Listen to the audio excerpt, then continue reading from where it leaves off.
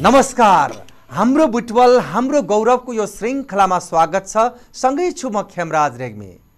विशेष गरी बुटवल महानगरपालिका र बुद्ध समुदाय टेलिभिजनको सहकार्य हाम्रो बुटवल हाम्रो गौरव कार्यक्रम हामीले प्रस्तुत गर्दै आएका छौँ। यो कार्यक्रमभित्र शिक्षाका कुरा स्वास्थ्यका कुरा विकास निर्माणका कुरा जनचेतनाका कुराहरू हामी प्रस्तुत गर्दै आएका छौँ। विशेष गरी विगतका श्रृङ्खलाहरू विशेष गरी हामीले बुटोल महानगरपालिकाले जब जनप्रतिनिधि आइसकेपछि जनप्रतिनिधिसँग उपमहानगरपालिकावासीको सहकार्यको सन्दर्भलाई हामीले घनीभूत रूपमा उठाउँदै आयौँ। र हरेक वार्ड हरेक ठाउँमा गएर त्यहाँ भएका गतिविधिलाई पनि हामीले प्रस्तुत गर्दै आयौँ। विकास निर्माण कसरी भइरहेको छ र सँगै वार्ड अध्यक्षको भूमिका कस्तो छ अन्य सदस्यको भूमिका कस्तो छ टोल विकास समितिको भूमिका कस्तो छ त्यहाँ कसरी काम भइरहेको छ नमुना वार्ड बनाउनको लागि के कस्तो भूमिका खेलिनुपर्छ के कस्तो भूमिका खेल्यो भने त्यो वार्ड नमुना बन्न सक्छ यो सन्दर्भलाई हामीले कोडै गरेर प्रस्तुत गऱ्यौँ र सँगसँगै स्वयं वार्ड अध्यक्षलाई फिल्डमै पुऱ्याएर उहाँले गरेका कार्यलाई हामी जनताको बिचमा ल्याउने हामीले प्रयत्न पनि गऱ्यौँ हामीले प्रयास पनि गऱ्यौँ जब कोभिडको आरम्भ भयो कोभिडको आरम्भ भइसकेपछि हामी वास्तवमा जनताको बिचमा सहजै जान सक्ने अवस्था रहेन। तैपनि हामीले जनतामा परेका मर्काहरू कोभिडले पारेको प्रभाव र उपमहानगरपालिकाले खेलेको भूमिकालाई हामीले लिपिबद्ध रूपबाट लेखेर सँगै त्यसलाई भिजुअलको माध्यमबाट हामीले प्रस्तुत गर्ने जमर्को पनि गऱ्यौँ। र पछिल्ला श्रृङ्खलाहरू हामी कोभिडसँग सम्बन्धित रहेर प्रस्तुत गर्दै आएका छौँ। विशेष गरी कोभिडले पारेको प्रभाव कोभिडले जनतामा जुन खालको एउटा नैराश्यता सृजना गर्यो त्यो नैराश्यताका बिचमा उपमहानगरपालिकाले के कस्तो भूमिका खेल्यो? उपमहानगरपालिका जनताको घर दैलोमा जानका लागि के कसरी प्रस्तुत भयो? र सँगै उपमहानगरपालिकाका प्रमुखज्यू उपप्रमुखज्यू लगायत अन्य जनप्रतिनिधिको भूमिका कस्तो रह्यो? र होम आइसोलेसनमा बसेका नागरिकसँग उपमहानगरपालिका प्रमुखको भूमिका उपप्रमुखको भूमिका कस्तो रह्यो? यो सन्दर्भलाई हामीले अत्यन्त संयमित र अत्यन्त सरल ढङ्गबाट यहाँहरूको बिचमा हामीले प्रस्तुत गर्दै आयौँ। र पछिल्लो श्रृङ्खला हामी विशेष गरी कोभिडसँगै आबद्ध रहेर हामी यो कार्यक्रम प्रस्तुत गरिरहेका छौँ।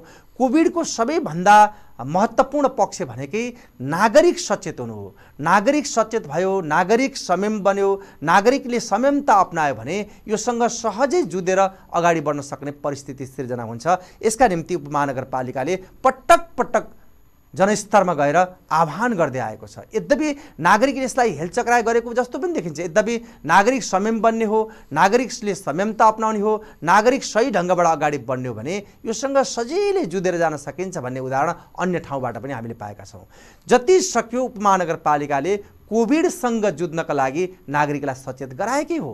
उपमहानगरपालिकाले ज्येष्ठ नागरिकलाई गर्नुपर्ने सेवा र सँगसँगै सहयोगापेक्षलाई गर्नुपर्ने सेवा र सँगसँगै अन्य दीर्घरोगीहरूलाई गर्नुपर्ने सेवामा कुनै कसर बाँकी राखेन। र सँगसँगै यसका लागि के कस्तो भूमिका निर्वाह गर्नुपर्छ भनेर स्वयं प्रमुखज्यू उपप्रमुखज्यूले नगरवासीसँग उपमहानगरपालिकावासीसँग प्रत्यक्ष साक्षात्कार गरेर उहाँहरूको जिज्ञासा धारणा लिएर यो कार्यमा अगाडि बढ्न महत्त्वपूर्ण भूमिका राख्यो।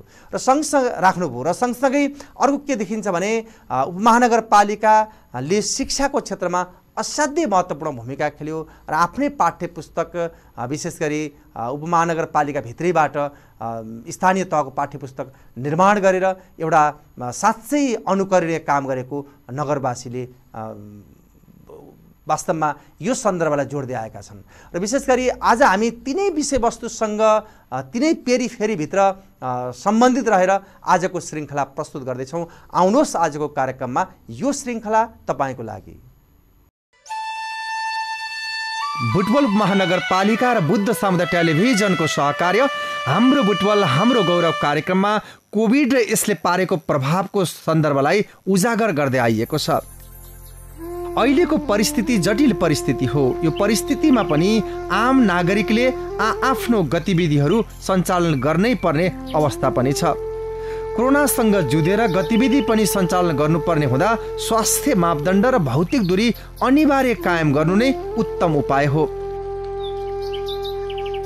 बुटोल महानगरपालिकाले आरम्भकै दिनदेखि महामारी नियन्त्रणमा प्रभावकारी भूमिका खेलेकै हो। तर महामारी अत्याधिक बढिसकेपछि नियन्त्रणभन्दा बाहिर गएको जस्तो देखिए तापनि उपमहानगरपालिकाले आफ्नो तर्फबाट नगरवासीलाई सुरक्षित राख्न हदैसम्मको प्रयास गरिरहेको छ। अति उच्च जोखिममा रहेको समुदायलाई पिसिआर चेक गरी सुरक्षित राख्ने कार्यमा उपमहानगरपालिकाले प्रारम्भका दिनदेखि नै महत्त्वपूर्ण भूमिका खेलेको छ।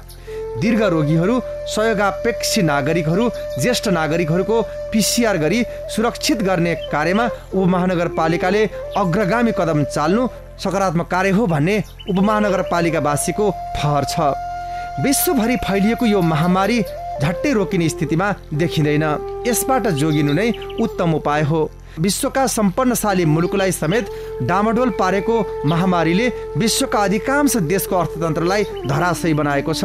अर्थतन्त्रलाई चलायमान बनाउन महामारीका बीचमा पनि विकास निर्माणका कामलाई निरन्तरता दिनु नै उत्तम उपाय हो भन्ने विषयलाई मध्यनजर गरी उपमहानगरपालिकाले बाटो घाटो नाली निर्माण जस्ता कामलाई निरन्तरता दिँदै आएको छ।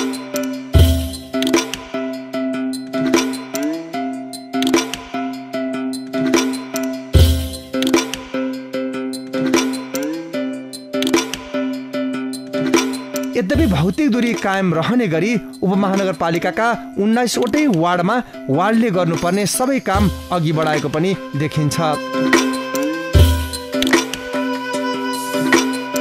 समय र परिस्थितिलाई बुझेर स्वास्थ्य मापदण्डलाई ख्याल गरेर काम गर्ने हो भने जोखिम निसन्देह कम हुन्छ। तर नागरिक नै सचेत नरहँदा जोखिमले भयानक रूप लिनु स्वाभाविकै हो। मास्कको उचित प्रयोग नगर्ने भौतिक दूरीको वास्तै नगर्दा नै सङ्क्रमणको दर दिनानुदिन बढ्दो छ। यसमा उपमहानगरपालिकाले पटक पटक आह्वान गर्दै आएको छ। तर त्यसको खासै वास्ता गरेको देखिँदैन। सवारी साधन चलाएर हिँड्दा मास्क लगाउने एक आपसमा कुराकानी गर्दा मास्क खोलेर बोल्ने परिपाटीले सिङ्गो समाजलाई जोखिममा पुर्याएको छ। यसमा स्वयं नागरिक नै सचेत हुन नितान्त जरुरी छ। अहिले आफू जोगिने जोखिम उमेरका ज्येष्ठ नागरिकलाई जोगाउनु नै हाम्रो कर्तव्य हो।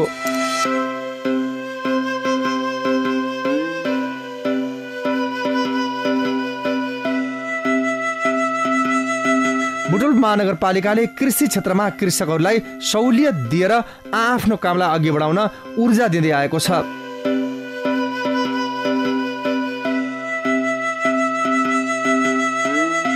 शिक्षा स्वास्थ्य जस्ता विषयमा विशेष जोड दिनु नै उपमहानगरपालिकाको दायित्व हो। सुरुवातमा अनलाइन शिक्षालाई प्रभावकारी बनाउन उपमहानगरपालिकाले शुल्क मापदण्डले तोकेर कार्य सम्पादन गर्न दिएको जोडले सबैलाई खुसी तुल्याएको थियो। साथै आरम्भमा लकडाउनको समयमा स्थानीय टेलिभिजनको माध्यमबाट अनलाइन शिक्षा सञ्चालन गरेको बुटोल महानगरपालिकाले अहिले आएर स्वास्थ्य मापदण्डलाई पूर्ण पालना गरी विद्यालयहरू दुई चरणमा गराई सञ्चालन गर्न सक्ने अनुमति दिएको छ। हालको अवस्थामा सङ्क्रमणको जोखिम केही कम भइरहेको हुनाले अन्य पालिकाहरूमा जस्तै बुटोल उपमहानगरपालिकाले पनि भौतिक रूपमा विद्यार्थीहरूलाई उपस्थित गराएर सिकाइ क्रियाकलापमा सहभागी गराउने प्रक्रिया सुरु गरेको छ। यहाँ वडा नम्बर चौधदेखि उन्नाइससम्म सङ्क्रमणको जोखिम केही कम भएको हुनाले यसभन्दा पहिलादेखि नै विद्यालयहरूलाई भौतिक दूरी कायम गरी शिक्षा विद्या विद्यालयमा विद्यार्थीहरूलाई भौतिक रूपमा उपस्थित गराई कक्षा सञ्चालन गर्न अनुमति दिइसकेको अवस्था छ।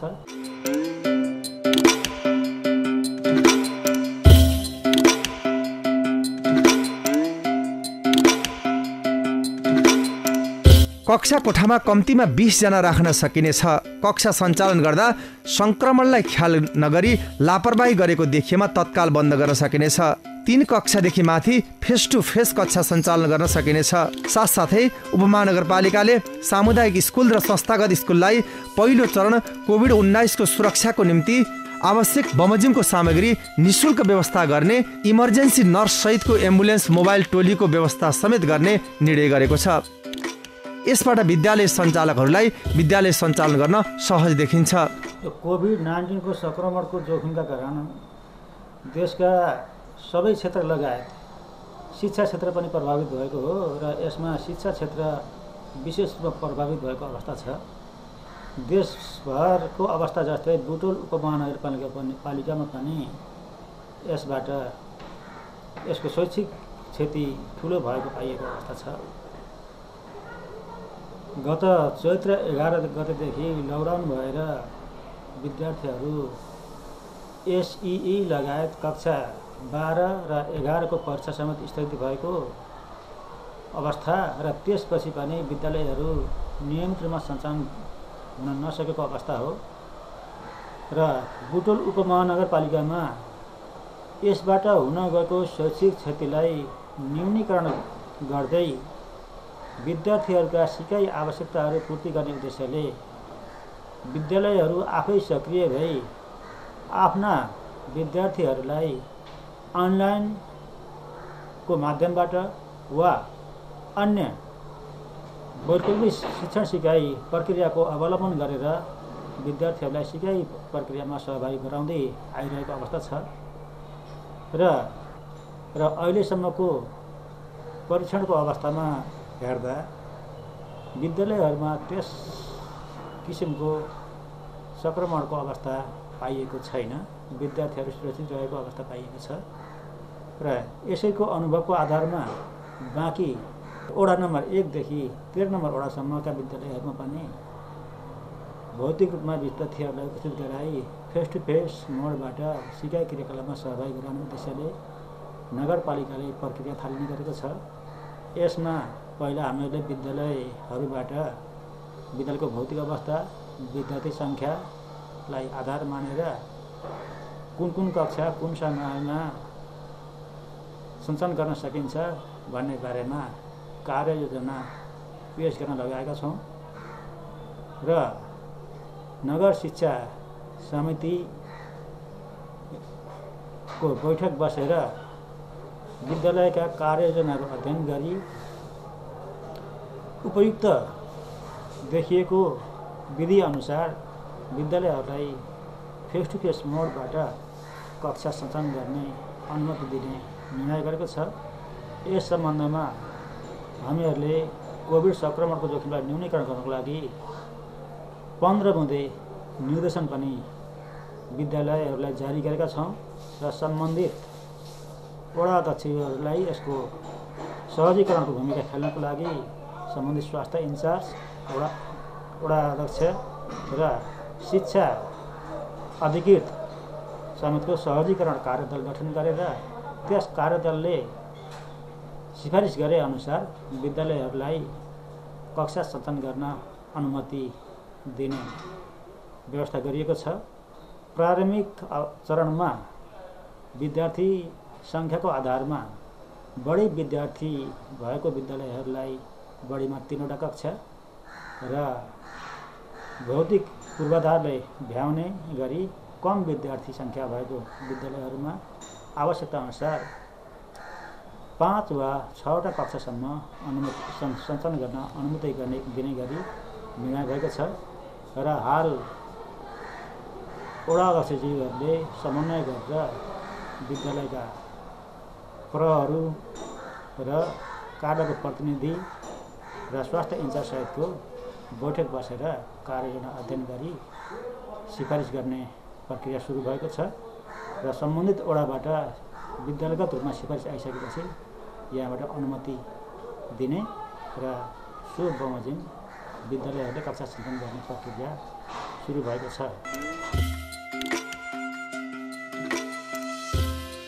यता बुटोल महानगरपालिकाले स्थानीय पाठ्यक्रम तयार पारी त्यसको आधारमा कक्षा पाँचसम्मको सय पूर्णाङ्कको हाम्रो बुटवल नामक पाठ्य पुस्तक समेत प्रकाशन गरी चालु शैक्षिक सत्रबाटै पठन पाठन हुने गरी कार्यान्वयनमा ल्याएको छ।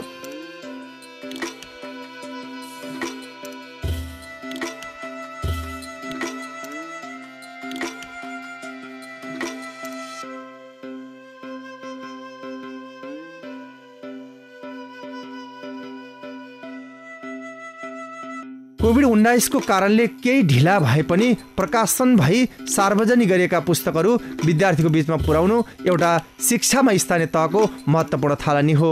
हाम्रो बुटोल नामक पाठ्य पुस्तकले बालबालिकालाई बुटबोलको सन्दर्भमा मनज्ञ ज्ञान दिने विश्वास समेत लिइएको छ। भविष्यको बुटोलको सन्तति जानकार होस् र त्यस्तो जनशक्ति राष्ट्रिय शिक्षाको लक्ष्यले अगाडि सारेका उद्देश्यसँग राष्ट्रिय पाठ्यक्रमहरूले नै व्यवस्थापन गरेका छन्। र हाम्रो स्थानीय तहको हाम्रो समृद्धिको जुन हाम्रो सपना छ त्यो सपनालाई पुरा गर्ने भावी सन्ततिहरूको उत्पादन गर्ने जनशक्ति निर्माण गर्ने यसको चाहिँ उद्देश्य हो भन्ने मलाई लाग्दछ। बुटोलभित्र कक्षा एकदेखि पाँचसम्म सय पूर्णाङ्कको पाठ्य पुस्तक एकैसाथ पढाइ सुरु हुनुले शिक्षा क्षेत्रमा अनुकरणीय काम गर्न बुटोल महानगरपालिका सफल देखिन्छ। यसले स्थानीय सरकार सङ्घीय समाजवाद उन्मुख गृह कार्य गर्न क्रियाशील छ भन्ने प्रमाणित गर्दछ।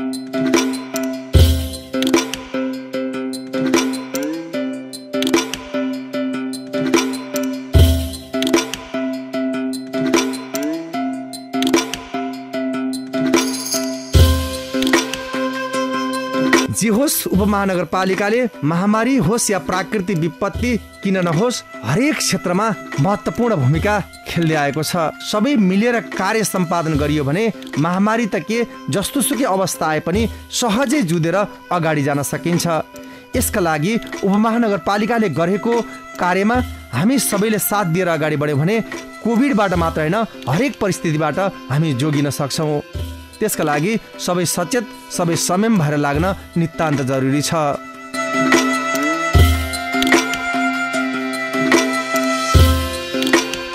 आदरणीय दर्शक महानुभावहरू हामीले कोभिडले पारेको प्रभाव उपमहानगरपालिकाले खेलेको भूमिकालाई विशेष ढङ्गबाट प्रस्तुत गऱ्यौँ। र सँगसँगै आम नागरिकले खेल्नुपर्ने भूमिका के हो त्यो सन्दर्भलाई पनि हामीले जोड्यौँ। विशेष गरी नागरिक सचेत भएनन् नागरिकले संयमता अप्नाएनन् भने यो महामारी अझै फैलिएर जान सक्छ। तर पनि महामारीका बिचमा पनि विद्यालय खोल्ने विद्यालय खोलेर पनि वास्तवमा त्यसको सुरक्षा मापदण्डलाई पूर्ण पालना गरेर मात्र अगाडि बढ्ने उपमहानगरपालिकाले निर्देश गरेको छ। यद्यपि हामी संयम भएनौँ हामीले संयमता अप्नाएनौँ भने त्यो जोखिम अझ निम्तिन सक्छ। त्यसका लागि स्वयं उपमहानगरपालिकावासी पनि सचेत हुन नितान्त जरुरी छ। आजको सामग्री यहाँलाई कस्तो लाग्यो? यही सामग्रीसँगै प्रविधिमा साथ दिने मित्र सरोज भूषाल रामचन्द्रलाई विशेष धन्यवाद दिँदै यो कार्यक्रमबाट म पनि आगे चाहन्छु। नमस्कार।